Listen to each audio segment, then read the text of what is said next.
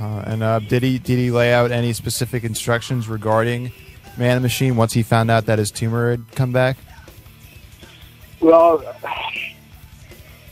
I couldn't tell you what he has written down. Oh yeah, yeah. I mean, like, yeah, of That's really not my place. Um, not that I'm just a dumb singer or anything, but uh, he and I did have our um, our final talk, and uh, he knew that there would be a lot of controversy about this record, and there was, you know, there's still controversy over the whole death and control denied thing. You know, uh, you know, what the hell are you doing singing for death? Who are you? And you know, just kind of that attitude. Not so much anymore, but when it first happened, you know.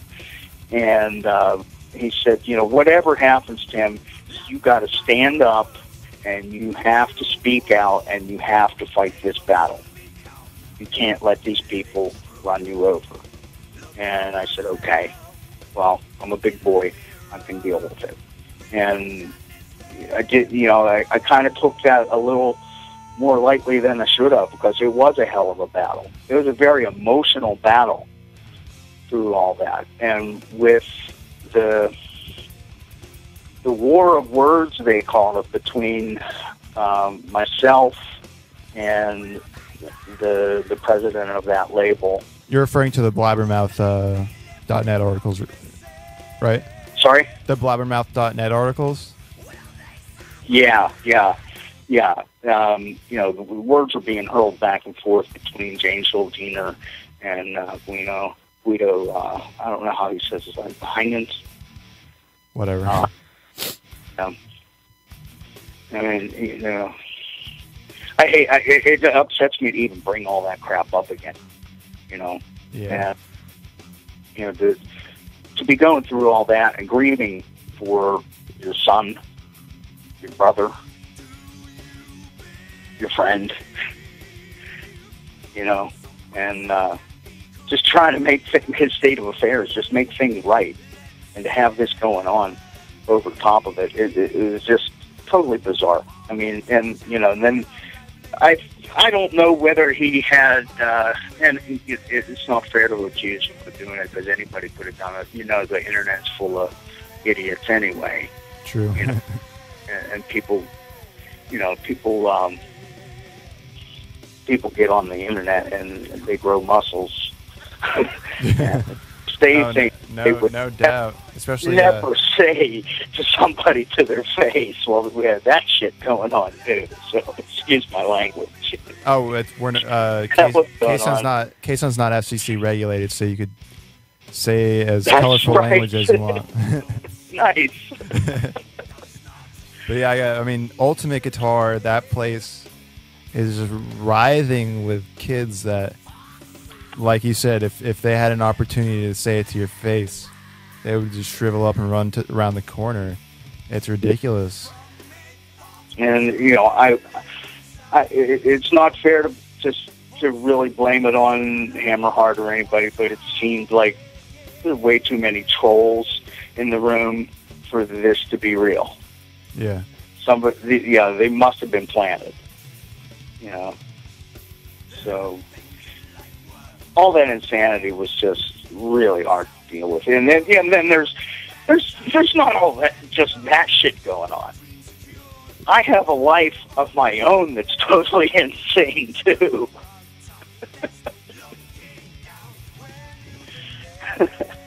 that just amplified everything. It was it was a rough. Uh, well, the the first uh, four or five years were really rough. Oh, I can imagine. Uh, how has uh, Chuck impacted your life? Because I mean, I'm just looking at him as a person. He's a, definitely a great role model. Um, I saw Chuck as uh, kind of, he's he's the, the exact same age as my youngest brother that passed away. My brother Danny and Chuck were the same age. So, you know, I saw Chuck as, and, and my, my, if you knew my little brother at all, he was uh, a real go-getter, and uh, you know, the best in his class, and uh, I think he would have liked Chuck a lot too. Um, so yeah, he re- he reminded me, and it, and it seemed like that from the very beginning, like we had known each other for a long time. even you know after just hanging out for a week, it was a, a pretty strong bond there, and I couldn't wait to get back to be working with those guys again. And then once I was, that made that bond even stronger. And the, you know the kind of person Chuck was. You see, I mean, you hear horror stories about. It. Of course, you know they say if you poke a dog with a stick enough times, he's going to bite you, right? yeah. well, Chuck was like that, you know, um, and, and you know, if if you were acting like an ass, he's going to bite. you keep on acting like an ass, he's just going to bite more. you know, so uh, you know, the, I guess the moral of the story is don't act like an ass, and and then you'll see the good side of Chuck. You know, and I think you can say that for a lot of people. You know, mm-hmm. but you know, he and I just uh, we clicked like that. We have uh, we, you know, the harmonious attitudes, I guess.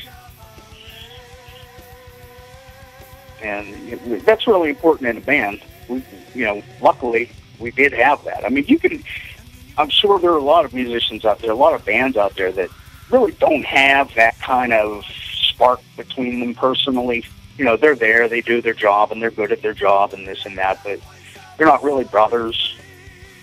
Uh, I've I've definitely had a few experiences with that. Yeah. But actually, I mean, my brother drums for my band, so it's a uh, easier in that realm. I, I guess you could say. Yeah. And uh, all, I mean, just speaking about uh, your family and, and Chuck and how that has impacted your life. I I, I might have heard somewhere that you uh, donate your hair to Locks of Love. Uh, is that true? And if if so, talk a bit about that. Yeah, uh, uh I ran into a guy um, about.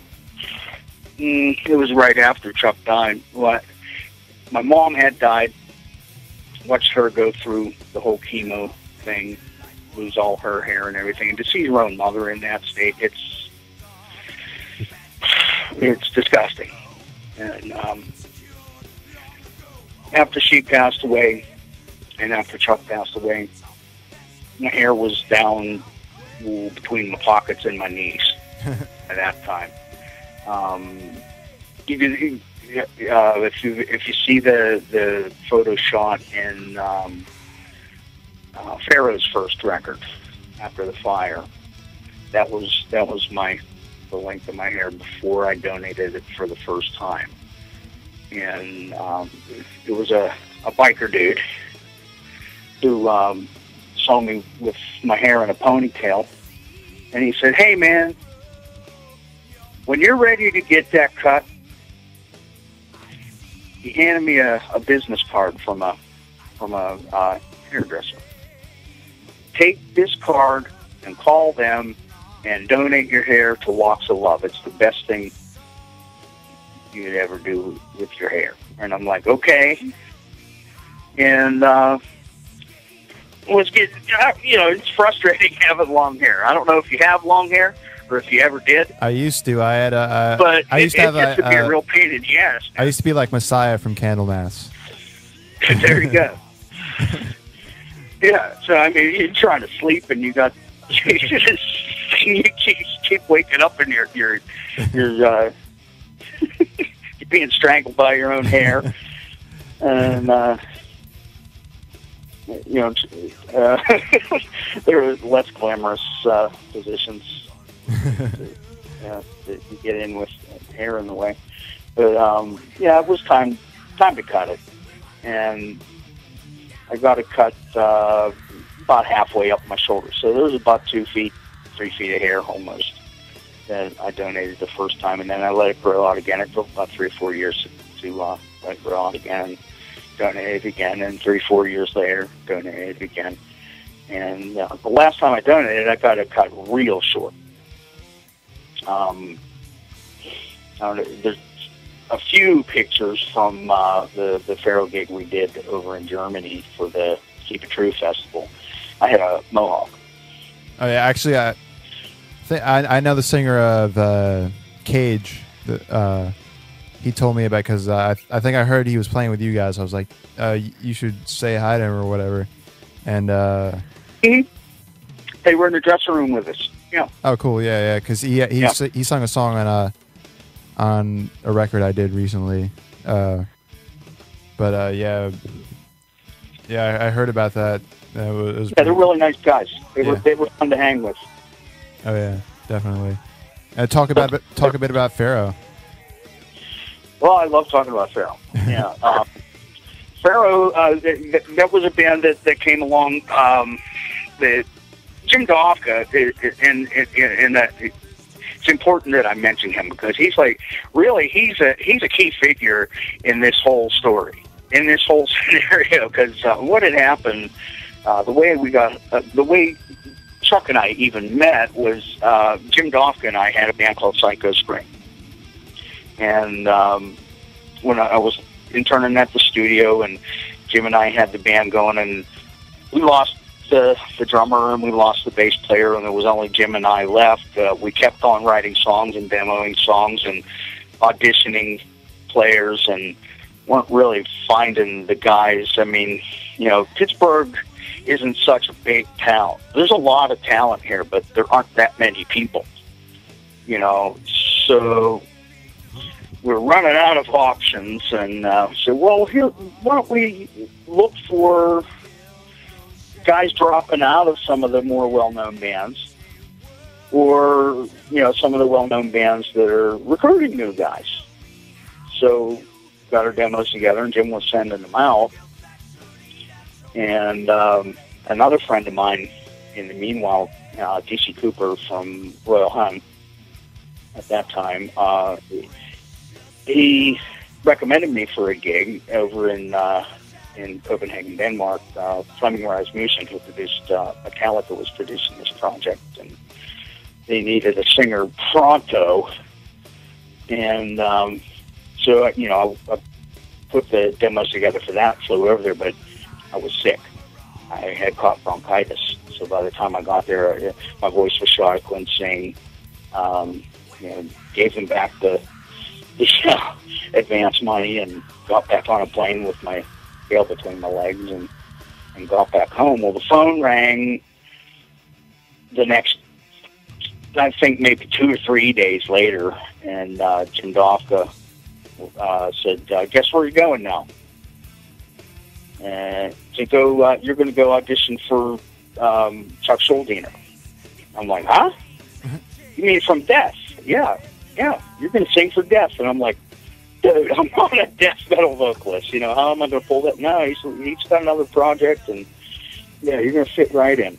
And uh, so, you know, that happened, and uh, went and did the demos. And then when I came back from doing those demos, Jim Dofka again said, "Hey, I got a friend um, out in Philly, has a band, and um, they want to hire you for for some songs. Uh, they're doing uh, some demos, or they're doing a compilation album. It was an Iron Maiden tribute."